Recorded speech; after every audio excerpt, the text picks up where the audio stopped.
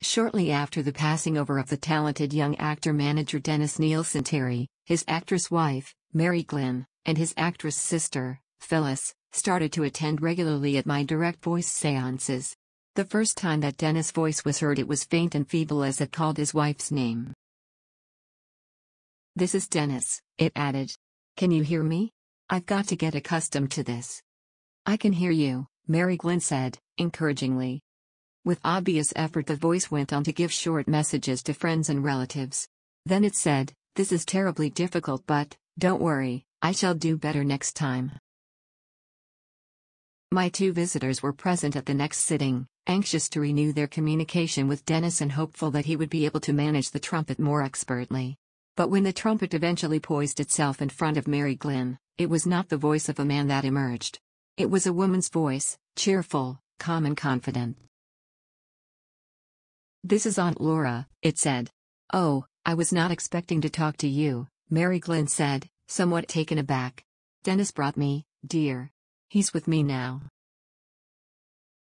Aunt Laura, Mary Glynne said, suddenly remembering something. I thought of you earlier this year. Do you know in what circumstances? Of course, dear.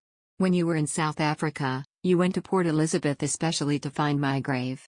You put flowers on it. Yes, I did. Did you say Dennis was there? He's here and ready to talk to you. Give my love to your mother, and tell her I'm very much alive. Hello, darling, came Dennis' voice almost immediately, and there followed a conversation typical of such reunions. When it was over, Red Cloud addressed Mary Glynne. You see, little lady, he said, your man makes progress. This time he managed better, but still he is too tense. But each time he will improve, each time he will get better. Red Cloud, she said. Please tell me. Why did you bring Aunt Laura to speak? For the greater proof, little lady.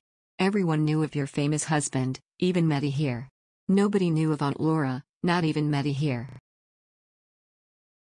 On the next occasion that Dennis Neilson Terry spoke to his wife, he had immensely improved his speaking technique and was able to sustain an almost perfect conversation with her.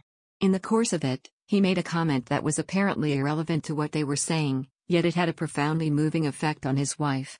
I have brought some flowers for you, he said.